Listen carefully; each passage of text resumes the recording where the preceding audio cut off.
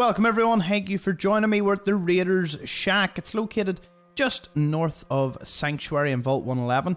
This place is really handy early on if you want some ammo and chems, and there, there's a corpse that you can even loot. That's it's fantastic.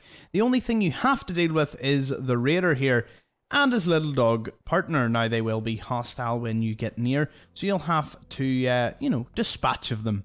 But once you get inside, you can find a wee chem box a cooler as well as an ammo box. And the main feature here is this corpse, in which they, they tend to have a good few items. It's a great starting point. Again, if you're on easier enough difficulty that you can kill the raider, um, definitely be sure to pop over here after the Dry Creek bed if you have any explosives to unlodge that uh, Nuka Cola bottle. From here, I'll be moving on to our next location, which I believe is the firing range, but I'll catch you over there. Thank you.